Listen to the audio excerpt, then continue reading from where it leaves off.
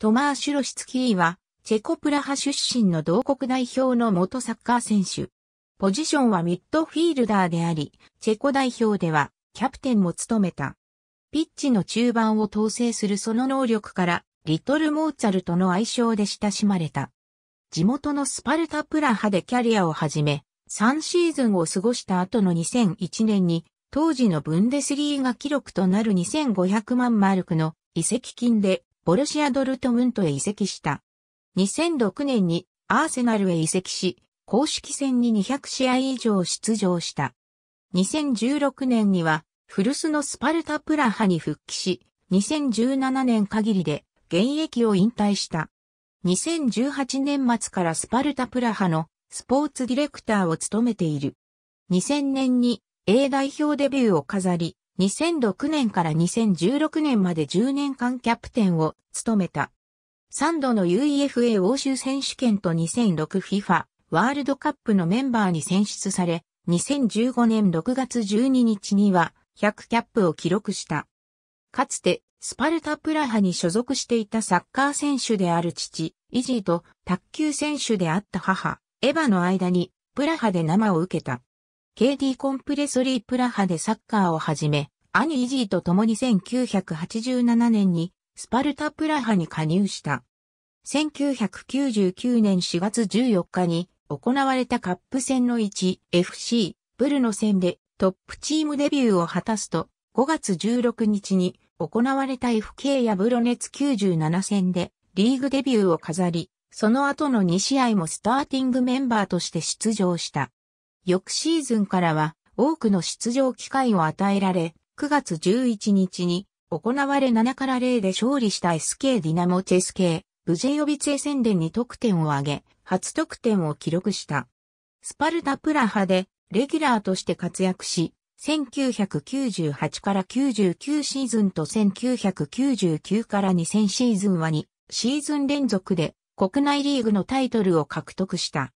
1999年には、チェコサッカー協会による表彰で、タレント・オブ・ザ・イヤーを受賞し、UEFA チャンピオンズリーグ2戦から01のシャフタール・ドネツク戦とアーセナル戦でゴールを記録するなど、チャンピオンズリーグでも印象深い活躍を見せ、インテル、ラツィオ、バイエルン・ミュンヘン、アーセナルなどのビッグクラブから獲得のオファーが来る中、クラブは2001年1月にボルシア・ドルトムントからのオファーを受け入れた。ドルトムント時代2001年1月9日に、ボルシア・ドルトムントと5年間の契約を結び、背番号は10番を与えられた。移籍金の2500万マルクは当時、ブンデスリーガ史上最高額となる移籍金額であり、チェコの選手が国外のクラブに移籍する際に支払われた金額としても史上最高額であった。ドルトムントでは2001年1月14日に行われた DFB ハレンポカールでドルトムントデビューを飾り、2001年2月2日に行われた1860ミュンヘン戦に60分から出場し、ブンデスリーガデビューを果たした。2001年8月11日の VFL ボルフスブルク戦で初得点を挙げ、2001から02シーズンは中心選手としてマイスターシャーレ獲得に貢献し、フェイエノールトに敗れはしたが、チームは UEFA カップの決勝にも進出した。ロシツキは加入してから、初めの2シーズン半の間に、リーグ戦75試合に出場し、9ゴールと20アシストを記録した。2003年7月には、クラブと2008年までの契約延長に合意し、シーズン終了後には、チェコの記者投票により選出されるゴールデンボール賞を受賞した。2003年の DFL リーガポカールでは HSV に2から4で敗れたものの決勝戦に進出したが、ロシツキーは2003から04シーズンを最悪のシーズンだったと振り返り、クラブはチャンピオンズリーグ本戦への出場を逃し、自身も2004年2月28日のブレーメン戦で腕を骨折するなど苦しみ、チームは2004から05シーズンのチャンピオンズリーグ出場権も逃す結果に終わった。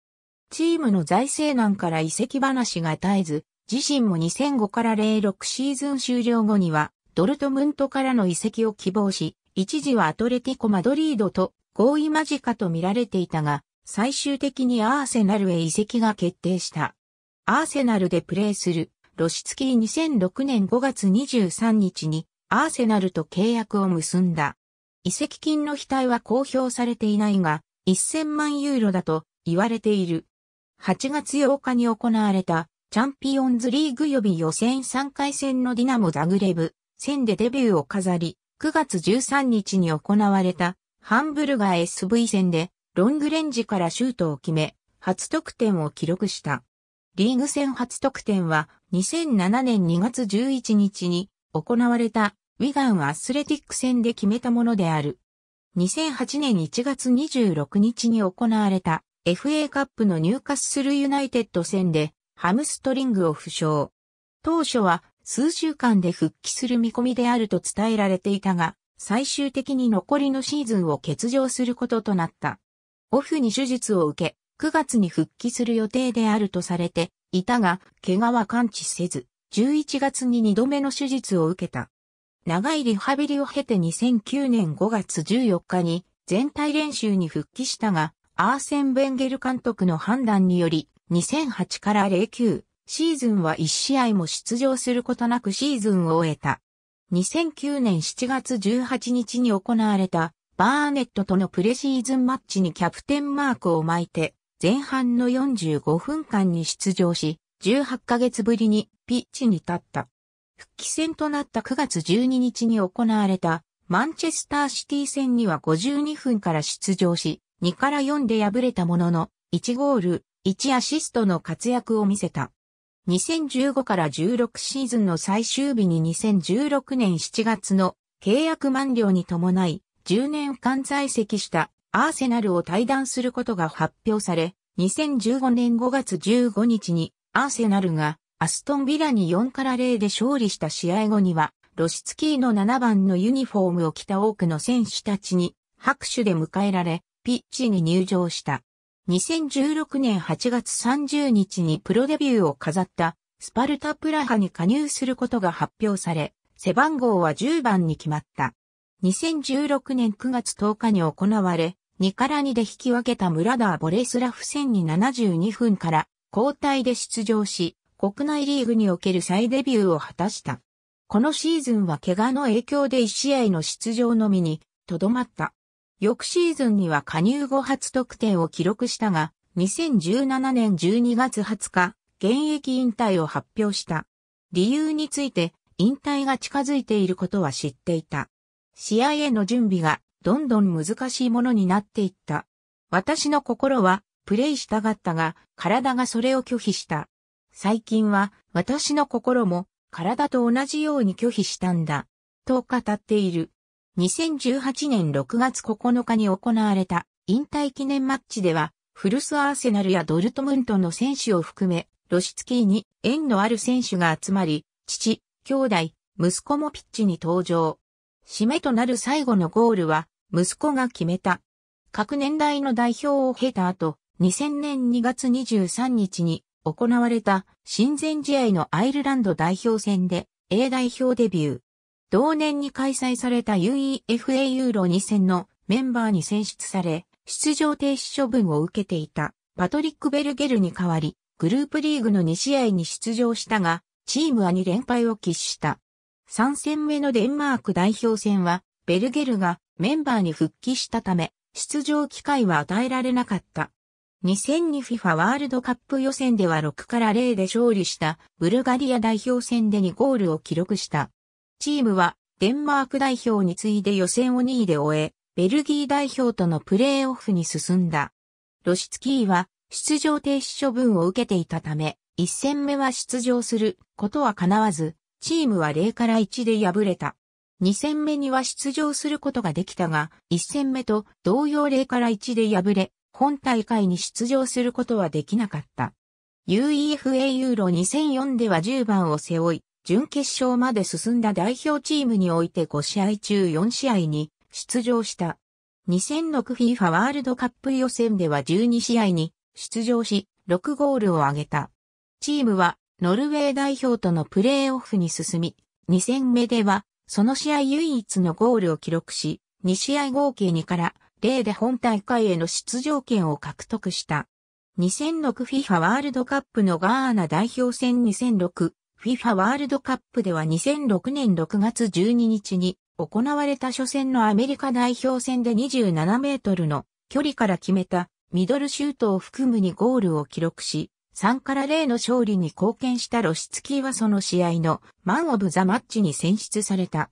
2戦目のガーナ代表戦と3戦目のイタリア代表戦の2試合にもフル出場したが、両試合ともに0から2で敗れ、グループリーグで敗退が決定した。2006年8月、パベルネドベドの代表引退に伴い、史上最年少でチェコ代表のキャプテンに指名された。2007年3月に行われ、1から2で敗れた UEFA ユーロ2008予選のドイツ代表戦後にはホテルに売春婦を招いてパーティーを行ったとして、チェコサッカー協会からロシツキーを含めた参加者たちに合わせて100万チェココルナの罰金を課され、後に謝罪会見を行った。